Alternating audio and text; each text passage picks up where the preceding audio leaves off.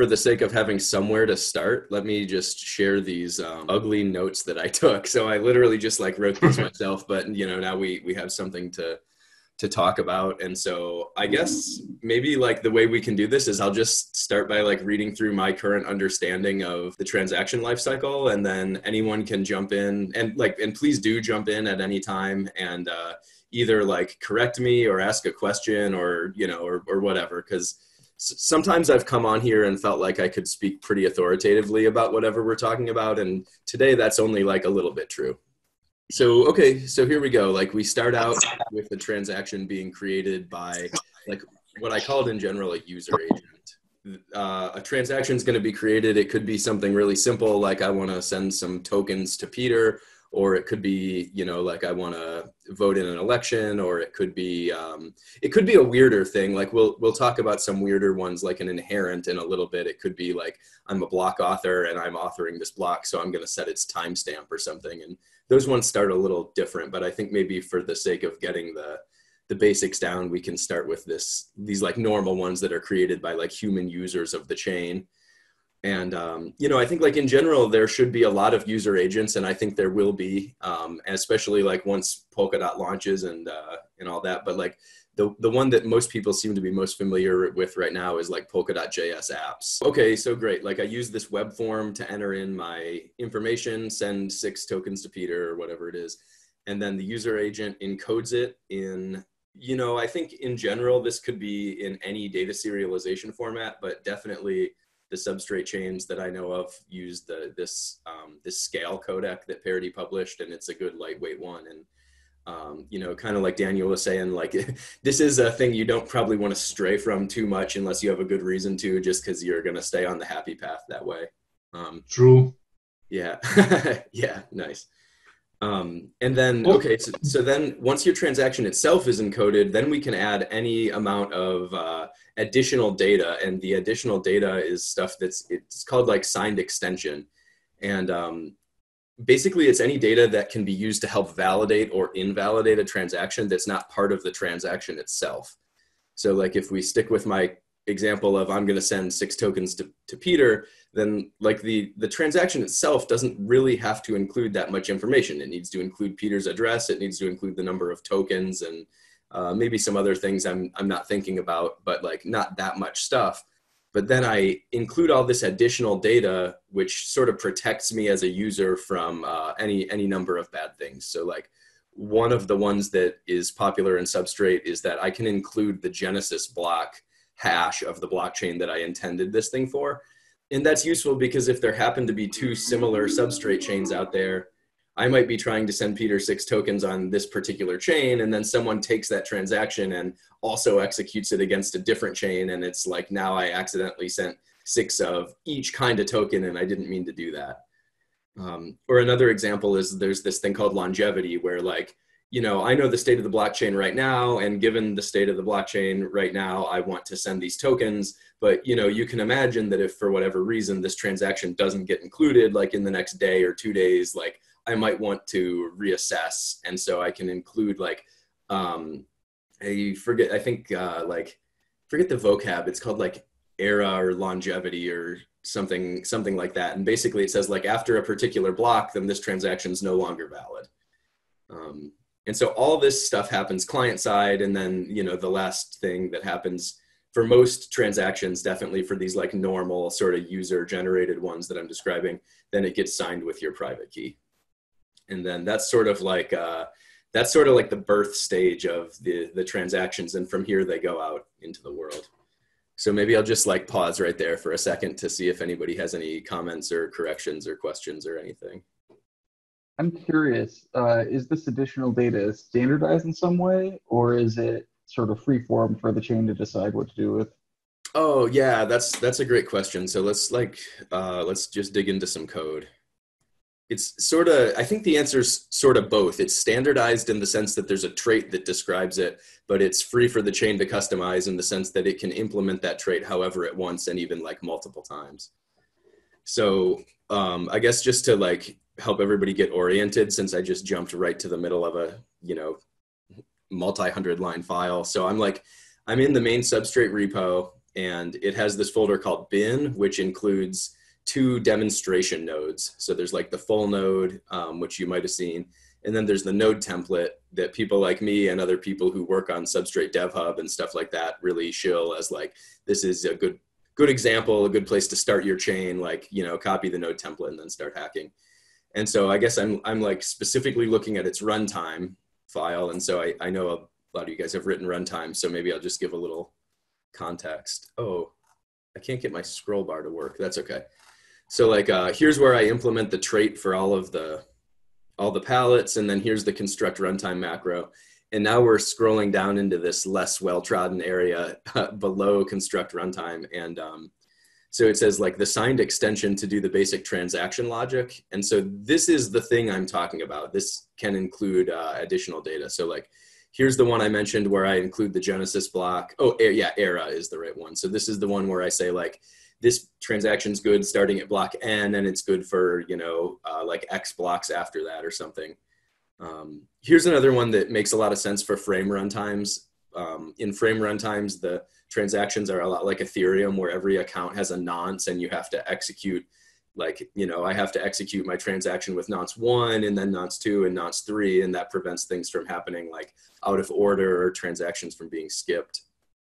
And so like most of these ones come from the, the system pallet, which means they're going to be pretty reusable across all your chains. Um, and then this one doesn't. This one actually comes from the uh, transaction payment pallet. And I, uh, I don't think Kian was here. He could tell us for sure. But I think what this thing does is it makes sure that you actually have enough funds in your uh, in your account to pay the fees that you're going to owe for this transaction if it gets included. Uh, yeah yeah, it charges fees, but um, in the transaction, it allows you to include a tip as well. So you can kind of bump your priority by, by paying more than the required fee, the minimal required fee. Yeah, right. So that's something that's going to come up too later on in the in the life cycle. Is this like uh, prioritization? Yeah, very very nice. So I guess like Peter, to answer your question, if you know it's it's standardized because these all implement this trait that I might even have open somewhere. Uh, not this one, but we can just look at it real quick.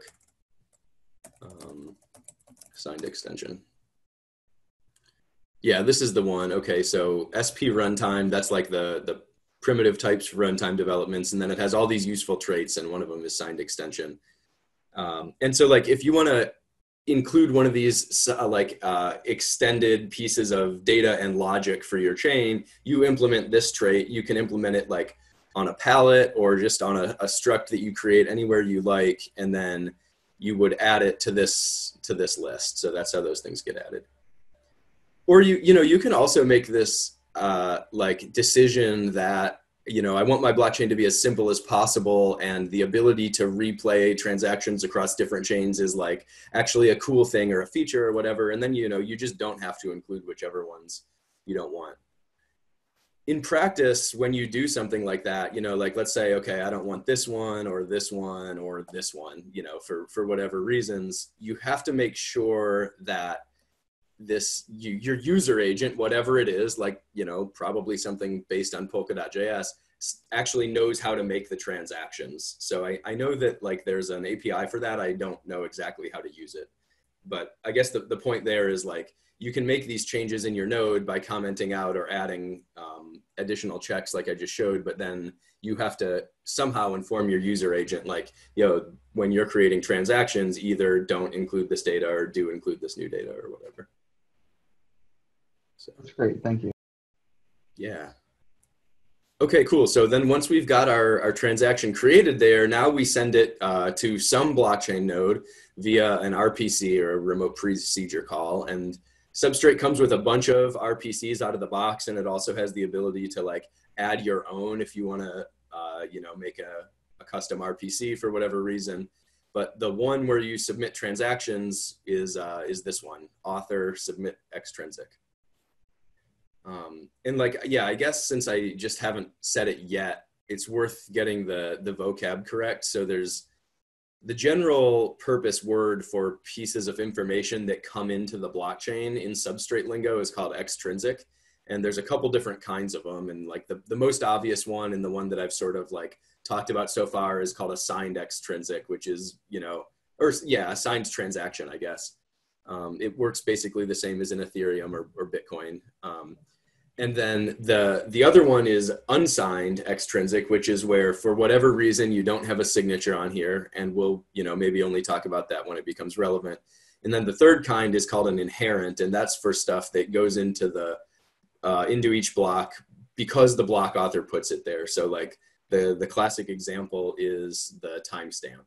So like some node is authoring a block, the runtime wants a notion of like, hey, what time is it when you author this?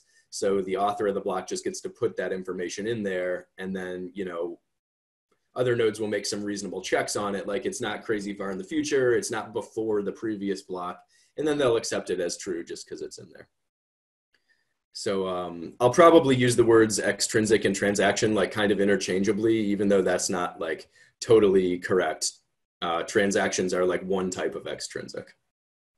Okay, cool. So we send our transaction into uh, into one particular node. You know, you can think of it as like your node that's running locally, or you can think of it as you know somebody like Infura or some somebody that offers a node that you're allowed to use. And so now that node knows about your transaction, whatever it is.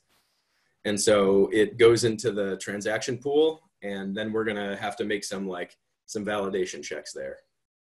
One thing that could easily happen is that your transaction is just declared invalid right away, uh, maybe because it doesn't like have, uh, you know, you, maybe you're trying to send some tokens and you don't have that many tokens, or maybe you're trying to vote in an election and you're not allowed to cast a vote in that election or something like that.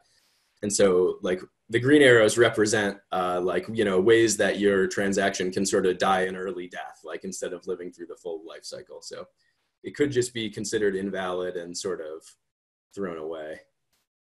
Um, and then like I, I, had this note here also that they're checked against the state and uh, and I don't remember exactly what what I meant by that. I know that like one example is that in a frame runtime, every account has this nonce, and so we need to say like, okay, some transaction just came into my pool. It has nonce six, but we already have uh, a transaction with nonce six in the chain, so it gets thrown away can't remember if I meant anything more by that at this point. Yeah, I have a question here. Sure. Uh, so in Ethereum, uh, basically, if, if if you send any transaction to the to uh, to a Ethereum full node, and it, it will just check your do some very basic checking. For example, your, your signature, and if you have enough uh, gas to cover the transaction fee, but it, it will not going to uh, execute the transaction itself. It, it will just be included in the block first, and then uh, after the execution, after that you can know how is uh, it is uh, rejected or included in the blockchain. So I, I just want to know how is this happen in a substrate. Yeah, that's a good question. We we definitely do have the notion of like this transaction got included in the block, but uh, it wasn't. You know, for for whatever reason, like as it was being applied, it went down one of these execution paths where we said like, okay, we're going to make this thing a no op. Uh, I wonder, like Tomek, I wonder if you can explain more like what the hooks are for getting things validated, like at this phase where it's in the transaction pool versus like later when it's applied. Yeah, sure. Um, so yes, indeed, we do some cheap checks very early, similar to Ethereum, where you have this hard-coded checks that we are doing. So we are checking the nonce, we are checking the signature, and so on. Here, uh, the transaction pool actually asks the runtime to do all the checks. So the transaction pool doesn't know anything about your extrinsic.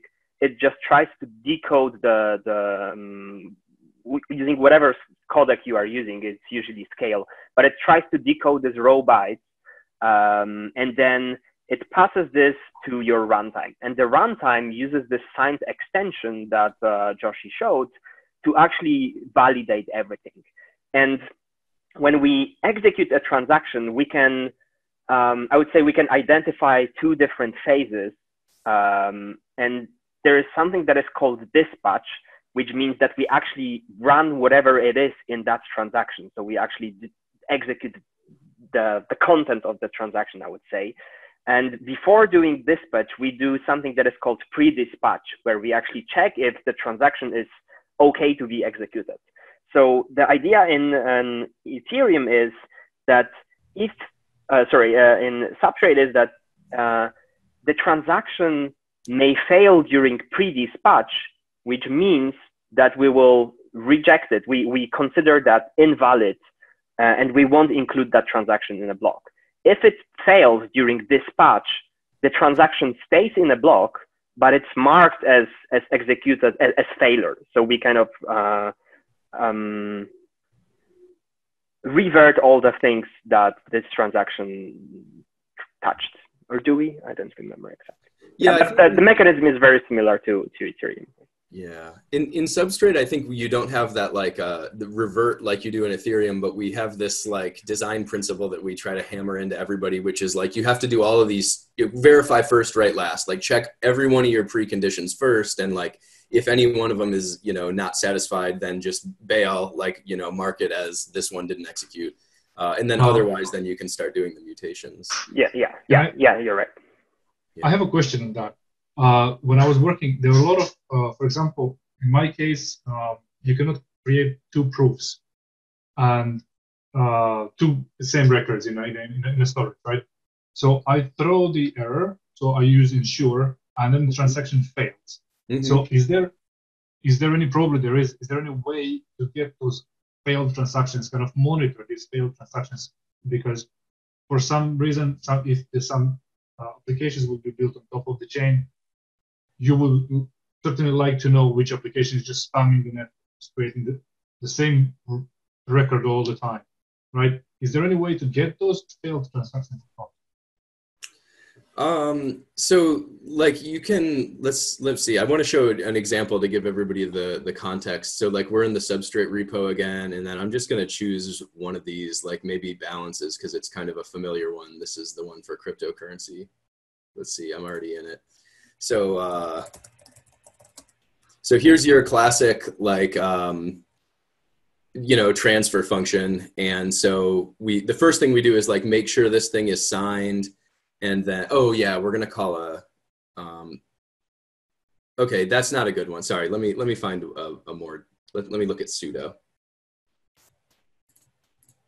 Um, so in the sudo pallet, we have this uh, this transaction called um, called this one called sudo, and we do this ensure check right here. Like we want to make sure that only the person who the only person who can call this, the only account who can call this is like the officially listed sudo key. So Daniel, it sounds like you have something like you know the exact thing you're checking will be different, but similar. You're using this ensure macro, and like this is the thing where at runtime, yes. then we're saying exactly. like yeah, hey, we might mark this thing as invalid. It still goes in the block, like it's actually still included in there, but then we don't go on to do any of this stuff that's gonna like, you know, mutate state or something like that. Yeah, I do exactly that. Yeah, but, cool. So in that case, in that case, the application, uh, the transaction fails, and as you said, it's included in the block. So if yeah. I would ex- inspect the block, yeah, I would see that transaction with the same error. Yeah, yeah. Like in this case, you know. But would it be would it be for, but would it be also uh, kind of tied to a sender? Or would it be what tied to the sender? Yes. Would it oh. would, would we be able to see like who actually which account yeah yeah like you know i i don't know exactly like how convenient you can get that in various formats but like i know polkascan for example would be able to show you the complete transaction and who the caller was and all that kind of stuff. Maybe we can just look like uh, yeah i'm pretty sure that the system pallet is uh, placing an event and there is an extrinsic failed event that contains the error that you have. So you can correlate the extrinsic index with the event being in the in the system pallet, and then you know that that particular extrinsic failed. But I, I'm not sure if it includes the sender. I think it, it doesn't. Oh, you can pass that through an error, I suppose. So if your error, if your custom error uh, could have a parameter which is the sender, then it will probably end up in the system dispatch failed. Yeah, that's Yeah, cool. I actually didn't realize there was there was an event for that. But uh, yeah, I mean, so I don't know. I wonder if we'll be able to see one or if we'll be able to filter. So we can see like, okay, what call got made, staking on bonds, staking validate, balance transfer. Oh yeah, so somehow they're grabbing whether this thing succeeded or not. Um, so like, so that data is available definitely. Yeah. Um, okay, maybe I'll just go back to to here and we can talk about more of that too. Um, okay, so like I guess let's say we make it through the is like initial checks in the transaction pool. So so far we've created a transaction, we've sent it over the wire to a node. It has passed the like cheaper initial checks, and uh, and now it's in the transaction pool, which basically means like it's just sitting there waiting to be included in a block. And in the meantime, like yeah so one thing that i double checked for myself this morning was you can send this transaction to like any full node in the network. It doesn't even have to be like an authoring node. So you know like in proof of work that would be like a miner or in proof of authority that would be you know an authority or uh, in proof of stake it would be like a validator.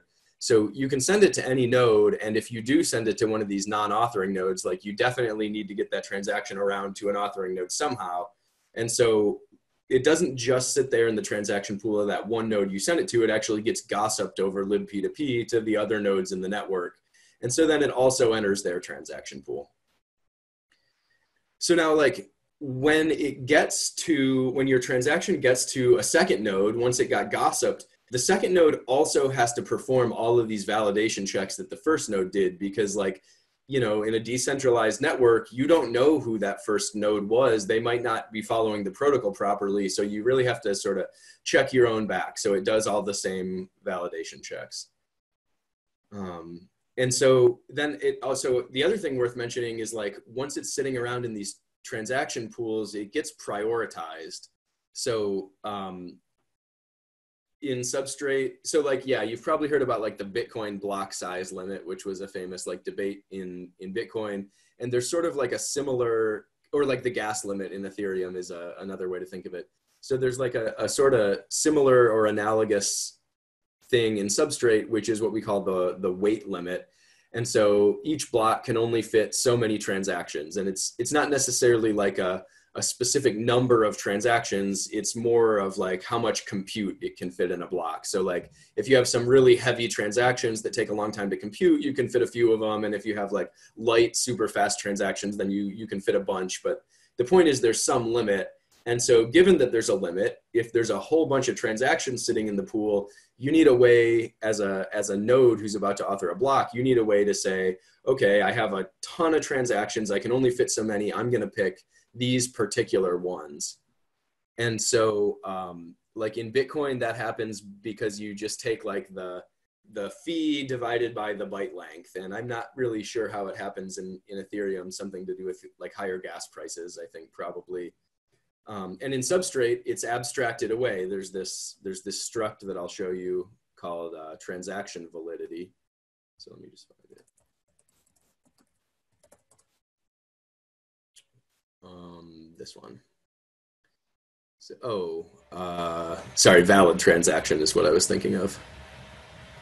So, like we talked about how the pool does this like initial validation logic, and if it turns out that the transaction is valid, then it gives back one of these structs, which includes a, a whole bunch of stuff. Some of it will we talked about already, like here's longevity, uh, minimum number of blocks this thing uh, where this validity is still correct. So like um, you know, if we put 10 here, then that means we know this block is valid for at least 10 blocks, but after that, you might want to like revalidate because some, something might have changed. And then the one I'm talking about right now is, is this one, priority. And it's, it's like totally abstracted away. Different chains can have a different notion of priority. Um, and like in frame, I, this is another thing I learned for myself this morning. In frame runtimes, this is based on like the, the tip that's given uh, fee wise so maybe I'll maybe I'll just pause there for a second. Assuming that you know block fills up and you know you have to exclude some with the lowest priority, um, I assume that they'll stick around and try to become included in the next block. Yeah, totally. Yep, totally. That's right. So like you take however many you can fit out of your transaction pool. The rest don't just get thrown away or whatever. They they sit there and you know, uh, yeah, exactly. Next time okay. you author a block, you'll try to grab more of them and and so on. Yep. Yeah. And, and that's like one of these arrows that I showed over here. Like it's possible that a transaction is is valid, but it's low priority and it just sits in the pool long enough that eventually it becomes invalid. Maybe because like uh, we we looked at that check era thing with the the additional data. So you might have said like, hey, this thing's only valid until block six thousand, and then like it just sat in the transaction pool so long that block six thousand elapsed, and now this thing is stale, and so we you know it's not valid anymore. So we we throw it away. How how is the sender supposed to know when or if their transaction got kicked out? Yeah. Is that listening to events again? Same thing. Yeah, good good question. So there's this. Uh, I I don't know if this is a fully general answer, but this is one thing that I know exists. Like when you're using Polkadot.js to submit your transactions, you you call this method called submit and watch, which which I've seen in the in the Rust code too. And so you get back this stream of like don't even honestly I don't even know exactly what the data type of the thing you get back is, but it, it gives you updates about like you know this thing is now invalid or it was rejected because the priority was too low or, or whatever it is. So if you've submitted that way you can get this information back to your front end or to your i guess more generally to your user agent. Oh yeah. There's also in sign sign and submit in the uh, in the js api uh, you pass the third parameter as a, as a, as a callback function you can you can uh, get all the information the same They are just events so that's how I do it. I didn't know about this one. Sub, submit and watch. Sign, sign and submit. Uh, it accepts the third method as a callback. Yeah, yeah, cool. Third parameter is a callback function. Those, those so you can you can get the, you can get all the stuff. Yeah. Yeah, probably. Yeah. I had a lot of problems with that. It's not well documented, so it's. Uh, so yeah, yeah, the, so, the JS API gets better documented every day, but it, it moves fast for sure. Yeah, yeah, true. Yeah, and it's it's super powerful. Yeah. On the on the RPC level, there is also watch extrinsic. So you don't have to submit it yourself. You can actually watch some other extrinsic that you know a hash of. And in the in the Zoom group chat, I posted a link to transaction status enum, which encodes all the possible things that you might receive over that stream. So you get information about, yeah, it's being broadcasted to peers or it's in block now, it's waiting for finality, it's retracted and so on. Is, uh, is, oh, this is the one you were talking about, I think, Tomek, right? Transaction status? Yeah. Cool. Oh, I've seen some of these come back in JS API too. So in block, that's like your, your success one. Um, I mean, it, it's partial success because it's even if it's in block, it still might become retracted. You probably want to wait for finality. Uh, yeah. Uh, and this is something we changed, like, I think within the, the last three months, because previously we were emitting an finalized event whenever the transaction just got into, into a block. Now we actually track finality there as well yeah I, I, remember that. I, I used to have to explain to people like there's these different notions of finality. There's the one associated with grandpa and then there's the one that just means it's in a block and app says finalized when it means in block. So you, this is actually different now you're saying? Yeah it, it That's got great. updated some time ago.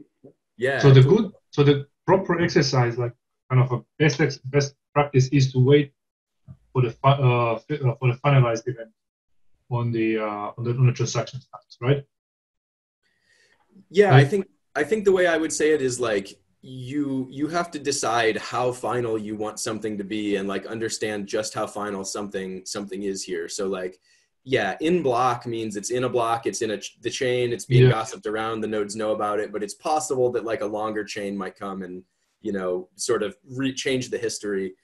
Finalized is definitely a stronger guarantee, but even it is not totally like resistant to hard forks or something you know like if if for whatever reason there's there's drama and the network decides like we're going back six blocks and forking around that one but yeah i think this is probably the uh yeah like the the hardest guarantee What Yeah. is- I'm curious what this one is. Maximum number of finality watchers has been reached. Old watchers are being removed. Yeah. So the the thing is that um, uh, your chain might not it might not have finality gadget at all, and then you won't really receive finality events. Um, but also, like in the past, we have seen some issues with Grandpa uh, not finalizing block for a, a super long period of time.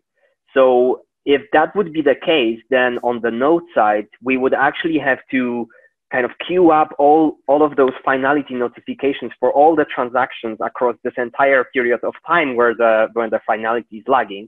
So to kind of avoid depleting all the resources, we have some upper limit of how many uh, blocks we are tracking for finality. So if your finality gadget is, is really behind, then you might start receiving this finality timeout event, which says, yeah, we were waiting for finality, but it didn't come and we are not able to store any more. Uh, we are not able to track any more uh, blocks. So unfortunately, you have to resubscribe on your own uh, again with Word Extrinsic if you want want Yeah. us to. Makes sense. So it, it doesn't, it means that it's not finalized yet. It might still get finalized or it might not or whatever, but like this, you're getting cut off from, from notifications at this point. Yeah, yeah, yeah. Usually, it just indicates some issue with with finality in the chain. Yeah, cool. Um, interesting. Here's another one too. Usurped. Transaction has been replaced in the pool by another transaction that provides the same tags.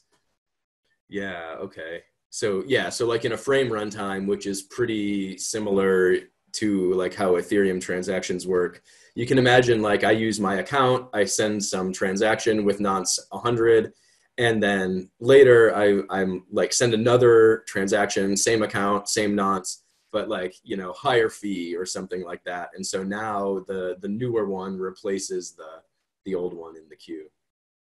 Oh, that was this green arrow actually. Use I should have labeled that usurped. I called it replaced. So yeah, so okay, so great. So it's our transaction has now made it into the transaction pool. It's been validated not only by the node that received it, but by the other nodes that re, you know received it over the Gossip network. Um, and then eventually uh, it gets included in a block, which is you know one of the one of the places we were hoping it would it would get to. And so once it's included in a block, now it's sort of gossiped around the network again, but not by itself. This time it's the whole block and all the other extrinsics and like the block header that's being gossiped around all together as a, a bundle. And so now nodes are going to individually like um, apply this block to their state. So they go through, they execute each extrinsic. So now we're at the now we're at the part where we may run into like to one of these things like this transaction passed all of the cheaper preliminary checks in the transaction pool it got included in a block but now for whatever reason you know one of these ensures was uh, like you know was not met i guess and so um, it, it might be that we sort of bail early and and you know that's where this transaction sort of ends um, and so then like this is something that i learned from tomek a few months ago that i thought was really interesting because i I sort of had this idea that when a block author puts a transaction into a block, then like they should take it out of the pool, right? It's moved on to the next phase. But that's actually not totally correct. What hac- what happens in general is that when you import a block, that's when it gets removed from the pool. And the reason we do it that way is because like the majority of the blocks that get created are not going to be your own blocks that you authored. And if you're a full node, none of them are going to be your own so the the proper time to take them out of the pool is when like you know when you've imported this block. So if you are the block author then those things happen in sort of short order. Like you you author your block you gossip it around and then you import your own block and and pull those transactions out of the pool.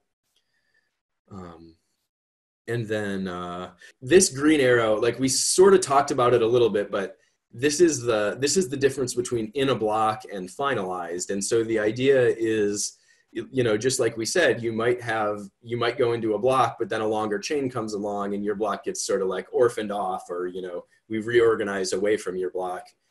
And so just because that happens doesn't mean that the transactions in that block are not valid. Like they you know they were valid. That's how they made it in a block in the first place. There's a good chance they're still valid.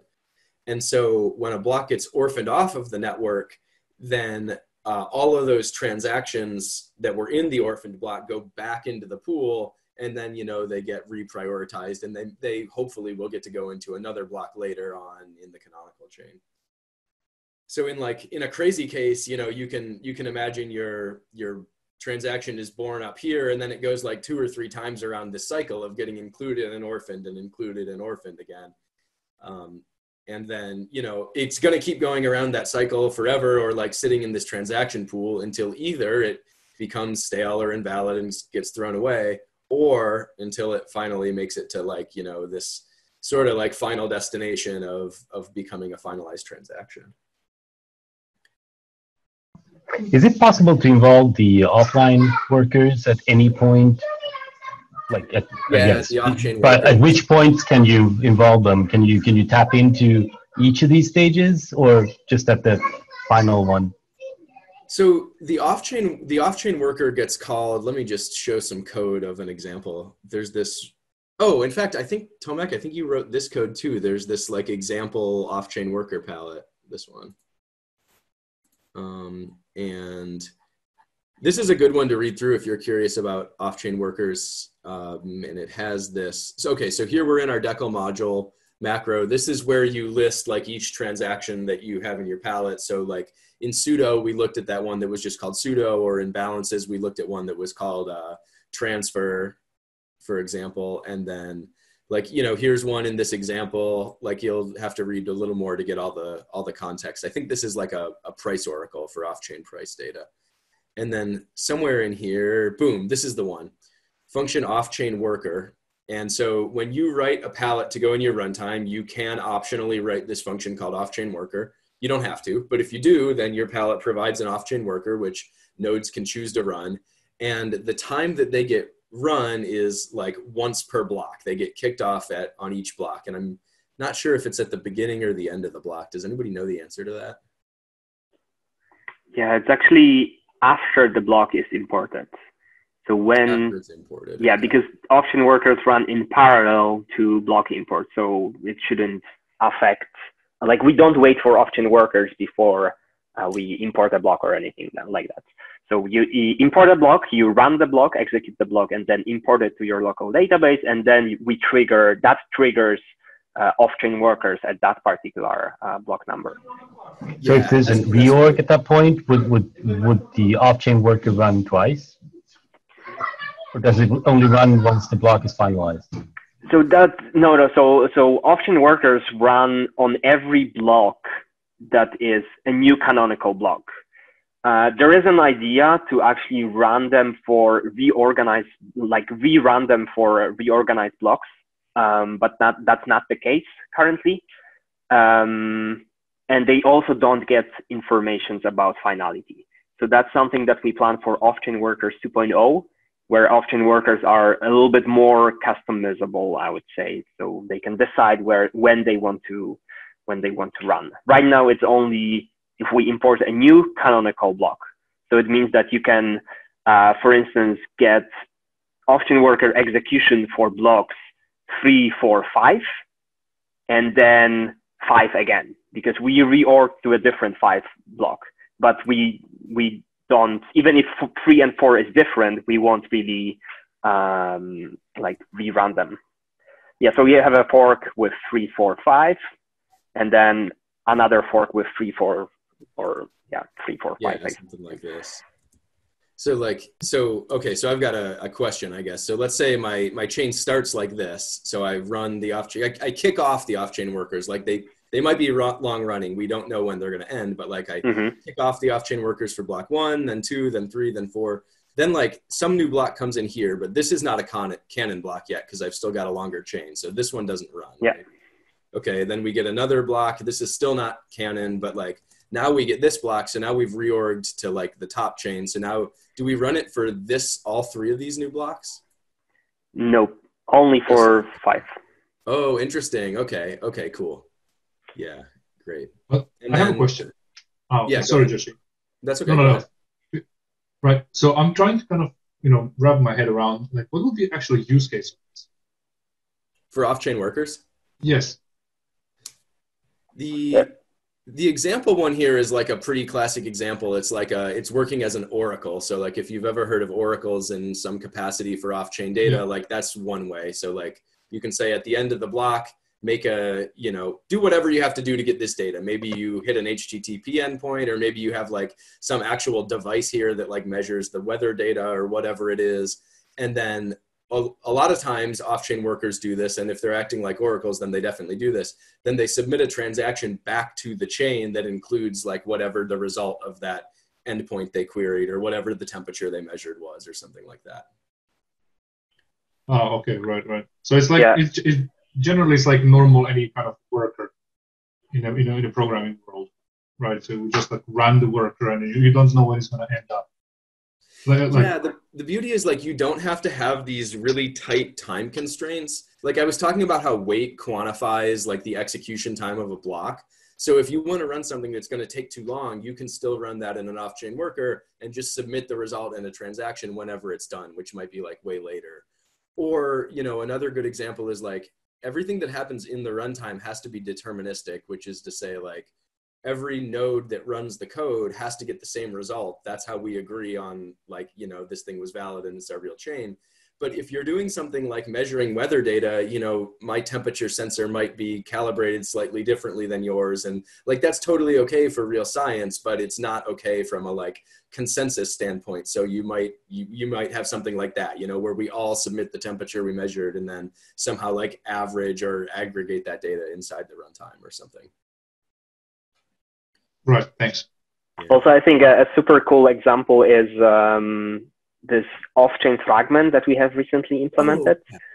So we have uh, um, when you are when you have a proof of stake, you have validators and nominators, and these nominators can can say I trust these validators. But uh, in our case, we we don't uh, distribute the stake equally because that's uh, a little bit inefficient. You can go into details a little bit more, but there is like this super interesting algorithm that is actually an optimization algorithm that runs in some random way and it's looking for a for a local maximum of some uh, some um, uh, some goal function that that it tries to optimize. And uh, we th- this is a process that can be run multiple times and can take uh, as much time as you want and you will just come up with a better and better solution.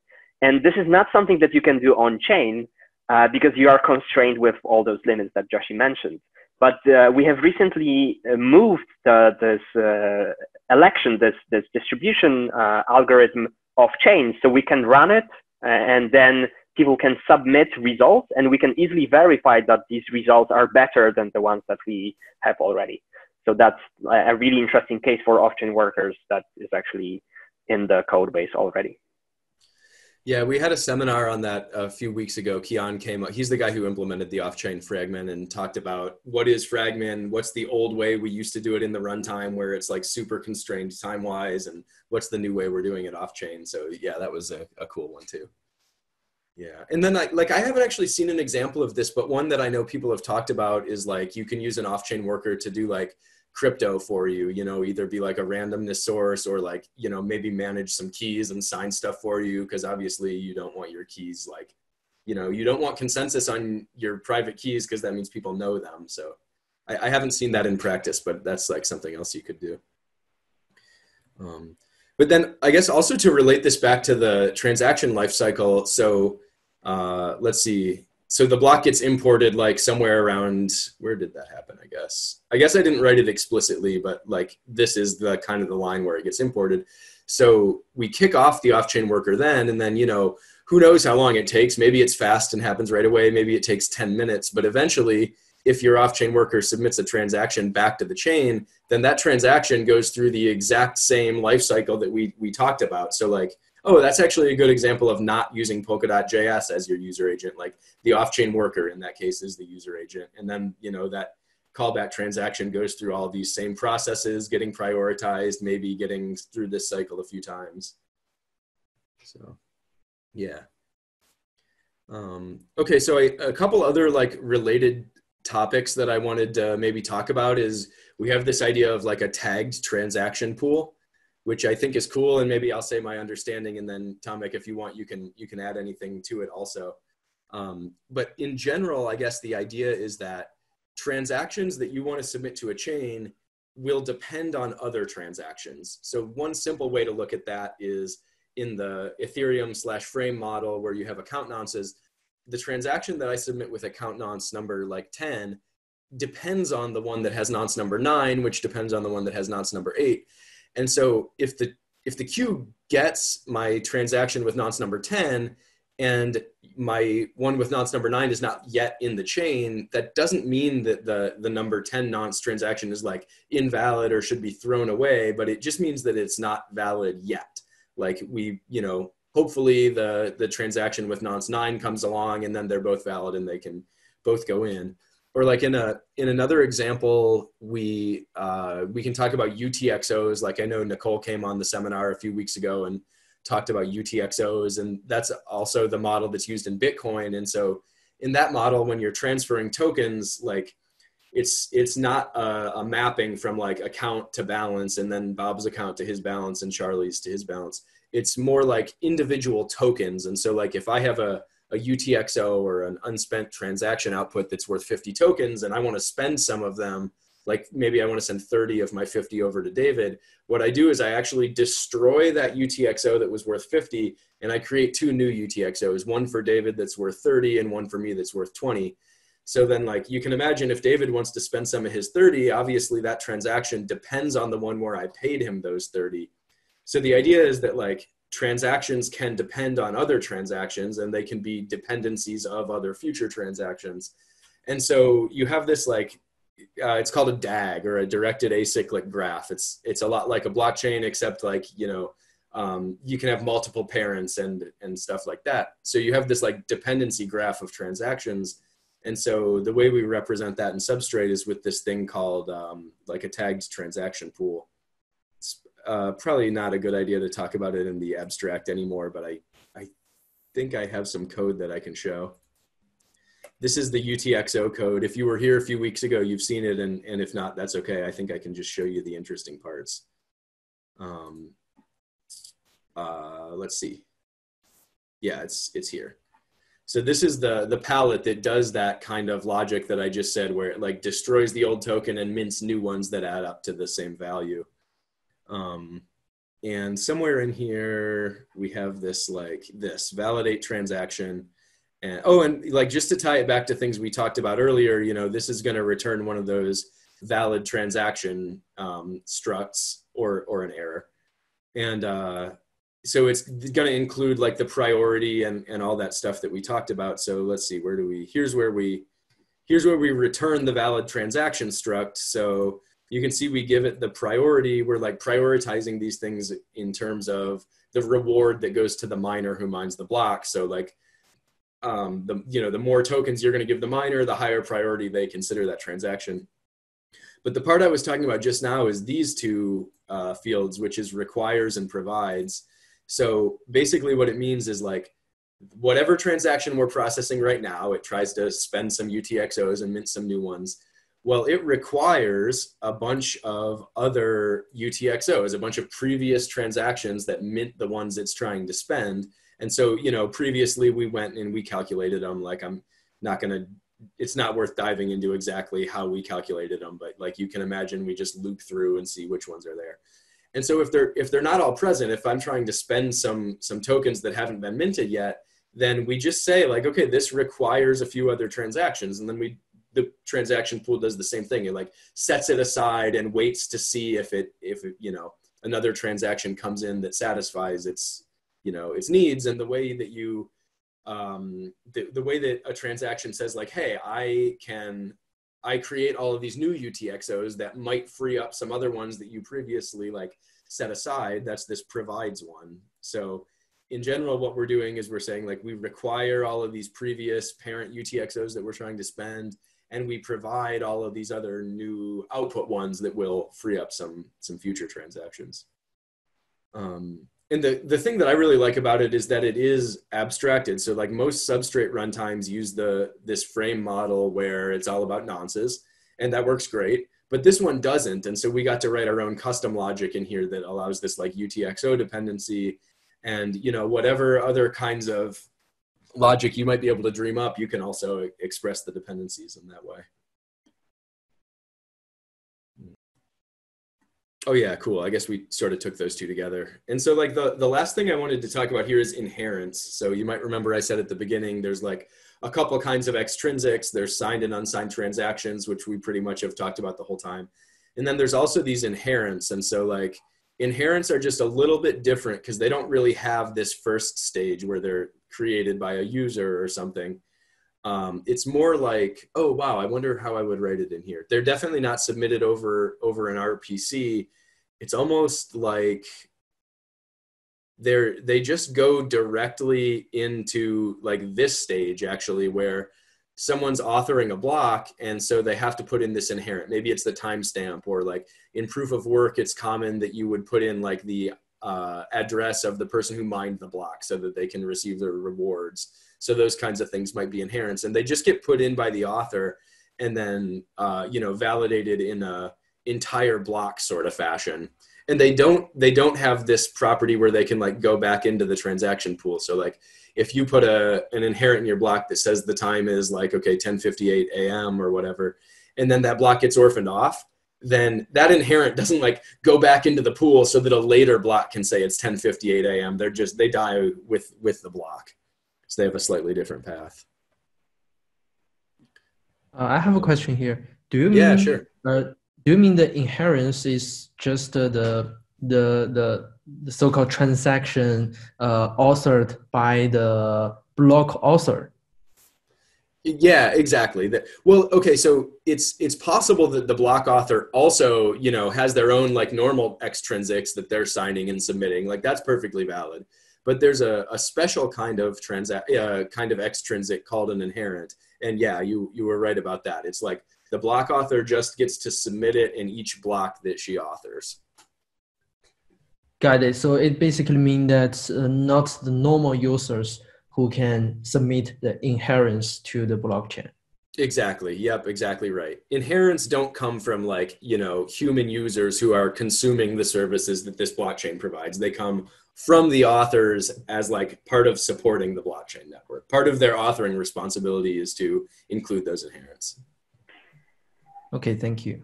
Yeah, there's actually like a completely different mechanism that produces this inherent and and um, yeah, just produces the inherent because when they are produced, they are we, we can't really distinguish them from other extrinsics, so they look like transactions, but uh, they are not gossiped over the network, and they there is a special Right. place where they are produced and uh, included in the block. Yeah, so like the other day we did this exercise, uh, or we at least talked about it. I don't think we did it live, where we like made a proof of work node, and so part of part of the like, okay, let's roll up our sleeves and wire in this proof of work algorithm is telling it like, okay, uh, proof of work algorithm. Here's the list of inherents that my runtime is expecting and requiring. So it's your job to put those in every time you author a new block.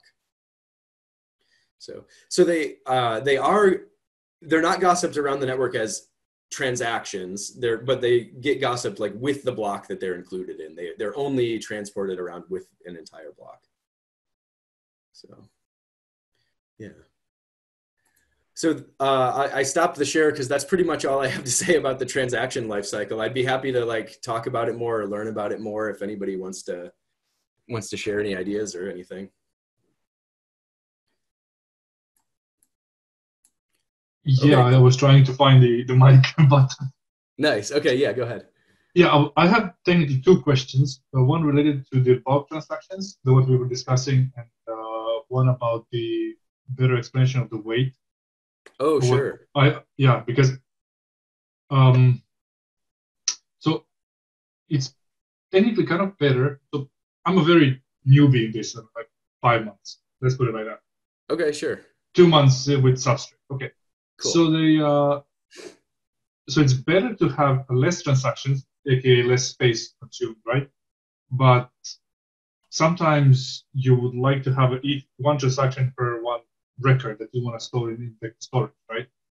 So the way how I'm doing the things, let's I'm creating a uh, I have a set of some data uh, function in the Decl module that produces some that takes in uh, I don't know, a rule set, some some some rules, some operation, Okay. something, some arbitrary data, and it stores it in uh, in, in, one storage called rules in the Decl storage that, that is uh, that is a hash tuple. Like it has okay. a hash, and then it has a some uh, a tuple of data, account ID, and block number.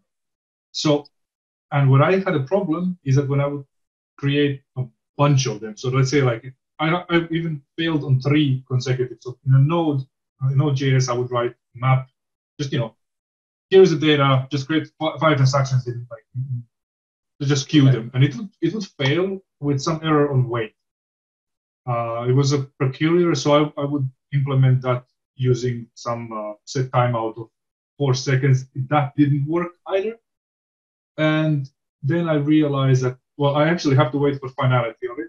So, and that's terribly slow. So for three transactions, three pieces of data to store in a, in a, in a storage, it would take me three times six. Yeah. Okay. So, so uh, is there any way to kind of speed that thing up? I was thinking to actually kind of create a separate function in the Decl module that would accept uh, an, a list of the same data. So it would have one transaction, but I would include uh, I would just yeah. Know, I, my instinct is so. Um, let's see if we can dig in a little bit. My, my instinct is that you you got some error indicating that you were doing something like you know wrong or like differently than what you intended to do, and now have tried to work around it in like kind of not quite the right way. So let me Probably. let me see if like if we just let's try to pin it down. Also, you're like welcome to share code or or something if you if you want to do that. But so basically, sure. you're sure everything is open source. Yeah. Okay. Cool. Yeah. I mean, if you want to even like pull it up on the screen, we we could take a look. Like that's peer learning at its best. So yep. so basically, it sounds like you have some transaction and you want to submit like a bunch of them in like fairly quick succession. Maybe not even like stupid quick, but like reasonably quick. You know, like not waiting ten or twenty seconds between each one for for sure, right? Well, then, yeah. Well, like a month ago when I was testing out, so I would you know I would have like a Node.js like a just terminal app, just you know terminal, Node.js app. Okay, I'll start with it because it's funny. Cool. Not to talk and not to not to see. Um, sure. because you know, on one side I have the uh, the substrate part, uh, mm-hmm. uh, like, and on another another hand I have Node.js. So technically, mm-hmm. what I'm tr- what I was trying to do is a a called rule of this what we are trying what, what we are doing mm-hmm. uh, is like a it's, it's it's a set of operations that needs to be applied on top of any kind of data that is uh, for that rule set, and then you get proof. Okay. Not a single hash, you get a bunch of hashes that kind of describe the data. So these different pieces of chunk data that rule actually sets in motion, right? So, uh, and you can have like, so I wanted to kind of create like uh, five different rules. Okay. I have it in, a, in, a, in an array, and it's just like array.map pump call the transaction, and it, it's just gonna, you know, create a transaction. To, but yeah, you wanted to submit. You have a transaction yeah, that's, but like failed. or whatever. you wanted to submit five rules real quick, and you struggled. Yeah. Right. Yeah, yeah. Will, that's totally doable for sure. Yeah. Show us your code. Let's let's dive in. Yeah. Just let me just try to find it. Uh, here is. No, I have like there is so much